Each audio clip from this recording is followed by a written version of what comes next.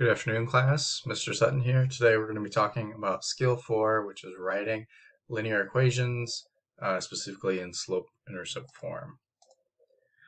So here's what I want you to write down your notes. Here, this is what slope-intercept form is. It's y equals mx plus b, where m is defined as the slope and b is defined as the y-intercept. So what that means if, is if the y-intercept is 0 comma 5, it means that b equals 5, right? So it's whatever the y value is where it crosses through the y-axis.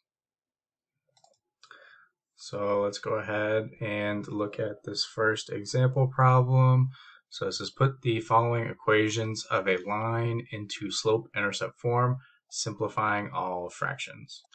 So in order to do that, remember our slope-intercept form is y equals mx plus b. So the key step is getting y by itself on one side of the equation. So in order to do that, the first thing I'm going to do is I'm going to subtract the 10x to the other side. So then I'll have negative 6y equals negative 10x minus 48. And I ordered it that way because traditionally we have the uh, x term first and then the intercept term. So that's what I did here. I did negative 10x and then my negative 48 um, as opposed to negative 48 minus 10x. So now the only thing I have to do is get rid of this negative 6 in front of the y. So I'm going to divide both sides by negative 6. So here I have y equals the negative 6's cancel. Now remember, you have to divide both terms here by this negative 6. Um, so you can also write this as two separate fractions, and it does say simplifying all fractions. So we might be better off writing it like this here. So now we can think about simplifying these fractions individually. So negative 10 over negative 6, first off, becomes positive. And then we can simplify the numerator and the denominator by a factor of 2 here. So we could say 5 halves x. And you can leave the x in the numerator like that, or you can bring it off to the side. We cannot bring it down to the denominator, though. I usually keep it off to the side because that makes it more clear to me that the slope is 5 halves, if I just have the 5 halves like that. Um, and then negative 48 over negative 6. So first off, negative divided by negative becomes a positive. And second off, we can reduce the numerator and the denominator by a factor of 6, actually. Uh, this divides perfectly. Negative 48 divided by negative 6 should give us a positive 8. So this would be our final answer in slope-intercept form. So we can see that m is equal to 5 halves, and b is equal to a positive 8.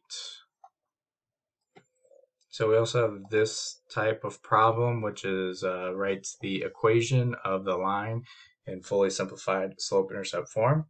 Uh, so for this, what I would do is just individually identify what m is and also what b is. So to figure out what m is, we want to look at the slope of the line.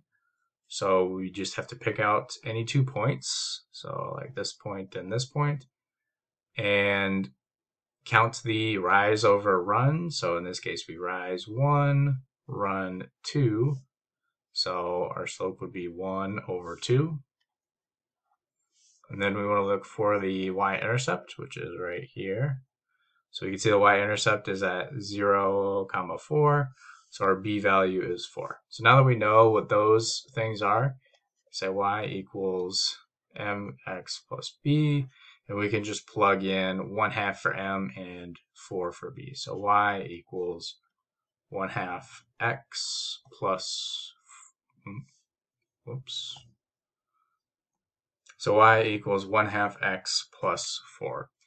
And if I if I actually picked two points when I was finding myself, if I picked two points that were further away, you should end up getting the same thing. So let's say I pick this point and this point for that, see, we would rise, mm, rise one, two, three, and run one, two, three, four, five, six.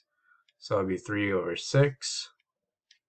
And notice three over six, we can reduce the numerator and the denominator by a factor of three, so that would equal the same thing as one half. So when you pick points that are further away, it might be harder to get the right answer just because you have to count a lot of lines.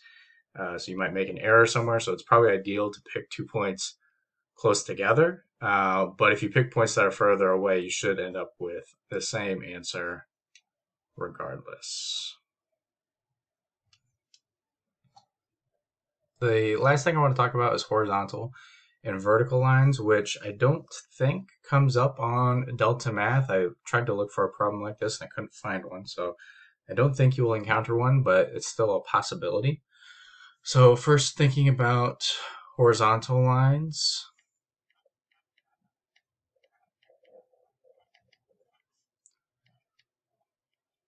So that would be here we have our coordinate plane. If I had a, and maybe I should do a different color here.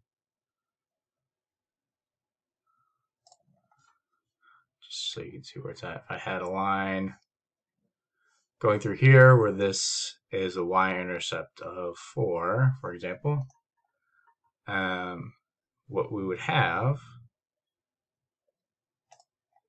is a horizontal line have a slope of 0.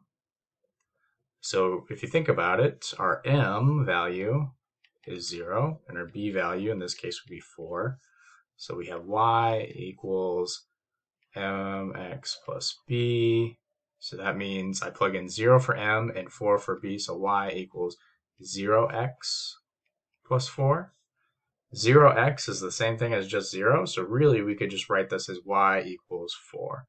And this is probably how you would most normally see a horizontal line written. This is the most simplified version. This is also correct, um, but that 0x is not necessary. So that is how you would write a horizontal line in slope-intercept form. And then vertical line is pretty similar.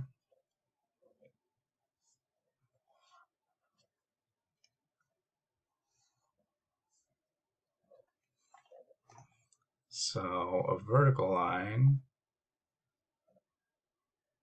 let's use blue this time. Go this way. Let's say it intercepts the x-axis at 5. The difference about a vertical line is that doesn't actually cross the y-axis unless it is literally on top of the y-axis. Um, so in most cases, it does not actually cross the y-axis, so we don't have a b value, right? And the other thing to note is our slope is undefined. And people a lot of times will get these mixed up. Horizontal line has a slope of zero, vertical line has an undefined slope. So try to keep those straight in your mind. Um, so how would we write that? You might be wondering if m is undefined and b does not exist either, right? We don't have a b value. So what we do is, it's similar to the horizontal line. The horizontal line, it's y equals 4. And what that means is if you think about that equation, no matter what x value you plug in, if I plug in x equals 1, answer is 4. If I plug in x equals 3, y equals 4. If I plug in x equals negative 1,000, y equals 4. That's what that equation means. We have a similar type equation for this, uh, and we just write as x equals 5. And it's 5 because our x-intercept is 5. So no matter what our y value is, our x value is always going to be 5. So this is how you write vertical line. So this one is a little bit different because we're saying x equals instead of y equals. Um, but that is because we don't have a y-intercept and we are passing through the x-axis. All right, so that is the end of this skill. If you have any questions, make sure you are asking for help in class and coming to office hours for questions. All right, have a good day.